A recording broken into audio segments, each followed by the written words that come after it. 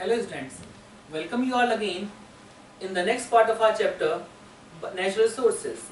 In this part we will study the biogeochemical cycles. Now what are biogeochemical cycles? These are substance turnover or cycling of substance in a pathway by which a chemical substance moves through both biotic, abiotic components of earth.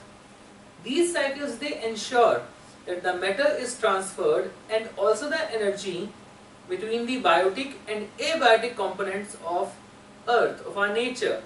Now some important cycles are water, nitrogen, carbon and oxygen cycle.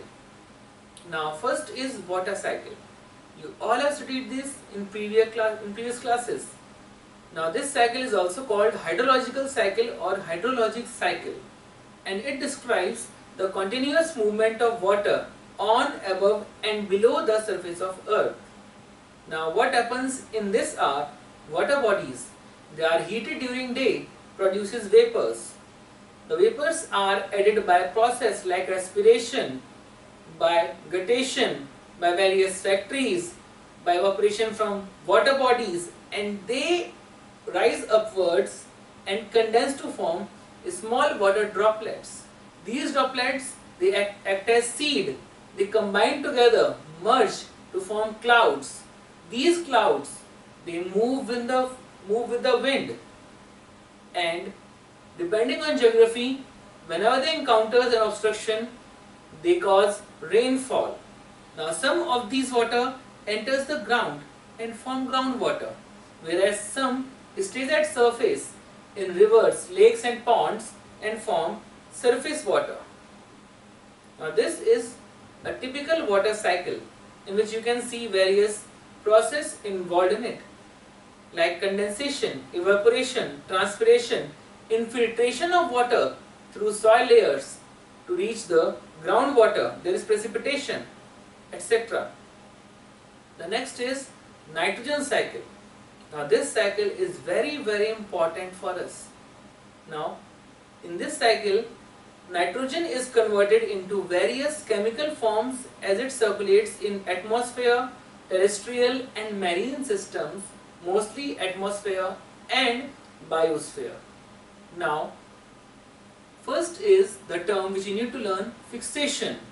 Now what is fixation during cycles other than water remember the element under study get fixed, get stored, assimilated in the body of organism in form of nutrients and this is called fixation.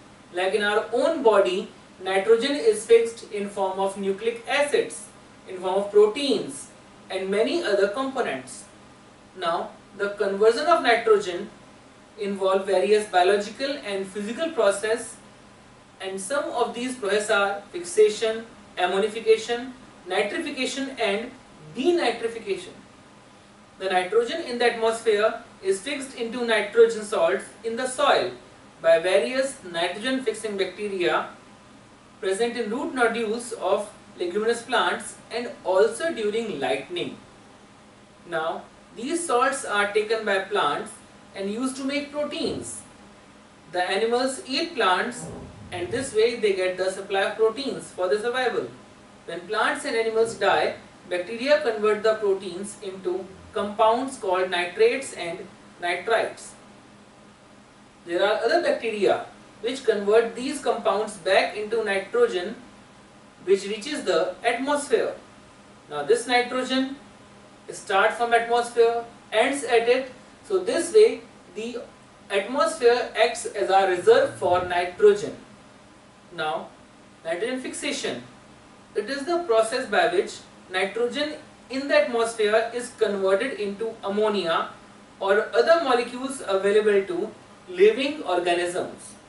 Now, this fixation is required for all life forms as the inorganic nitrogen compounds are only form in which we can absorb nitrogen. We cannot absorb it from atmosphere we need it as nitrates. Therefore, as a part of this cycle, it is very important for agriculture and is also used in making fertilizers. It is responsible to manufacture all chemical compounds that contain nitrogen which include explosives, pharmacological substances, dyes, etc. Now, this fixation is also carried in soil by free living bacteria like Azobacter.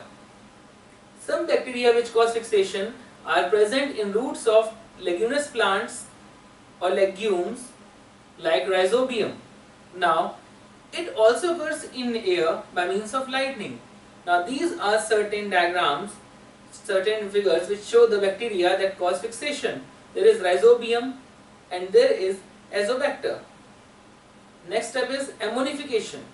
Now, in this step, the organic nitrogen from plant and animal remains or waste turns back into ammonium salts and it is called ammonification or mineralization. This also involves bacteria and fungus which convert organic nitrogen within remains into ammonium compounds and this involves bacteria especially Actinomycetes and Bacillus subtilis although many other also involved. When a plant or animal dies or it expires, it expels waste. The initial form of nitrogen is organic that is obtained from life form. Next step is nitrification.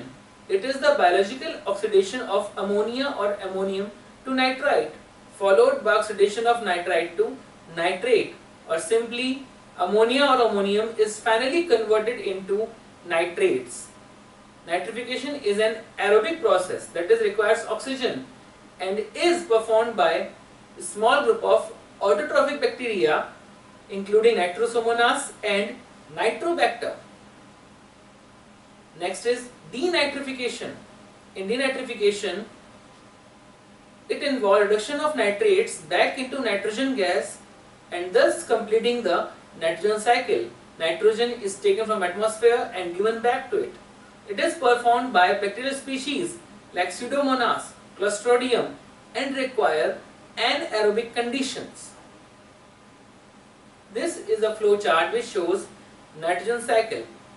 Nitrogen from atmosphere change into proteins present in plants, microbes or convert to ammonia by industries. This ammonia changed to nitrites which is changed to nitrates. Now nitrates are absorbed by the plants animals. Also nitrogen is converted to nitrates by lightning. The proteins which are present in animal plant body they return back to the resource that is atmosphere after death using various pathways. Now next cycle is carbon cycle. In carbon cycle it involves the exchange of carbon among biosphere, pedosphere that is soil, geosphere, hydrosphere and atmosphere. Now carbon is the in the form of carbon dioxide in air which is used by plants to prepare glucose and the process we all know is called photosynthesis. Now glucose is used to provide energy and convert into other organic compounds. When animals eat plants, these compounds enter the body of animals. During respiration, the energy and carbon dioxide are produced by us and this carbon dioxide thus is turned back to atmosphere. There is one more process that is combustion of fuels like coal, petroleum which add carbon dioxide to the atmosphere. Organic compounds in plants, animals are also converted into carbonates, limestone, coal, petroleum, the shells of animals like snails in which carbon is fixed. Remember, carbon is a very important component of biological molecules like carbohydrates, fats, proteins. The global carbon cycle is divided into four main reservoirs. In nitrogen there was only one. Here we have four different reservoirs. Atmosphere, biosphere, oceans and sediments including fossil fuels. Now these reservoirs are connected by the pathways steps involved in carbon cycle which involve exchange of energy and matter. In the earth interior, carbon is formed is present as mantle and crust. Now this is the diagram to show carbon cycle. we can all see the process like respiration, evaporation, combustion, photosynthesis, etc. which are involved in carbon cycle. This is one more cycle that shows the involvement of organic life forms, plants, animals in carbon cycle. Now, oxygen cycle. In this cycle, oxygen is moved within the three main reservoirs, atmosphere, biosphere and lithosphere. Atmosphere in oxygen, sorry, oxygen atmosphere is used for respiration, combustion and formation of oxide of elements. Oxygen is sent back into atmosphere by photosynthesis from plants. Now main driving factor for this cycle is photosynthesis which is responsible for the modern Earth's atmosphere in which we all live. And it is the integral molecule of where integral part of various molecules like carbohydrate, fats, etc. Uh, this diagram shows the oxygen cycle. How is it gained by plants in respiration and also the animals?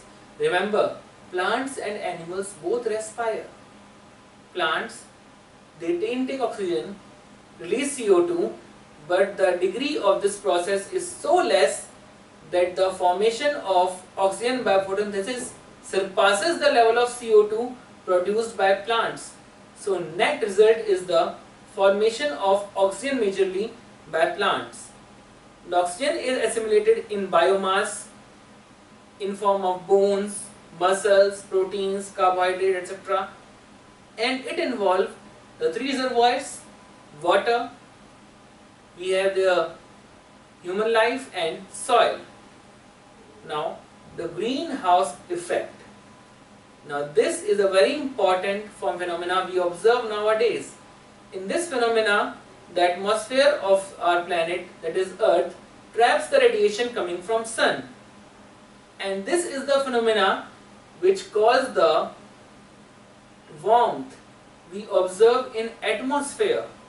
Now, when the sun's energy reaches the earth atmosphere, some of it is reflected back to space and rest is absorbed and re-radiated by greenhouse gases. These radiation warms the planet's surface to a temperature above which it would be without its atmosphere. Now gases like carbon dioxide, methane, chlorofluorocarbons, they trap the heat radiated by the earth and thus they are called greenhouse gases. Remember, carbon dioxide is always the major contributor for this effect. Now because of the increase in the greenhouse gases nowadays in atmosphere, we are seeing lot of changes in our climate. Like the global temperature is increasing. There is an increase in global temperature which is due to excessive greenhouse effect and we call it global warming. Now this global warming is causing the melting of polar ice caps causing all the floods, all the droughts by disturbing other biogeochemical cycles which run in our ecosystem. The last topic here is ozone layer. Now this ozone layer is the region of Earth's stratosphere that absorb most of the sun's ultraviolet radiation. It contains ozone gas in very high percentage and it is located between the 15 km to 35 km region in the atmosphere away from above the earth's surface. Now because of this ozone layer, it do not allows the ultraviolet rays to reach the surface of earth. As a result, we all are protected from them. Nowadays, what we are observing are ozone holes. These are certain regions in the ozone layer where the percentage of ozone decreases in the atmosphere and as a result the UV rays are able to reach the earth's surface causing damage to various life forms. Now ozone hole is a region of marked thinning of ozone layer in high altitudes chiefly during winter when it is observed. Now thinning ozone layer leads to number of serious health risks like skin disease, cancer, cataract.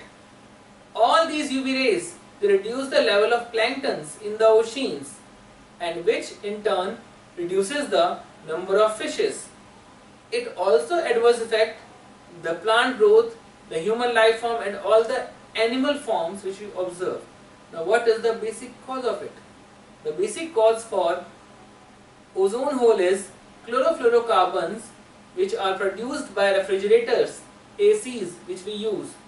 Now the ozone hole which occurs on Antarctica in the very early spring is one of the most deteriorating ozone holes we have observed on our earth and it is causing a lot of damage to Antarctica and its ecosystem.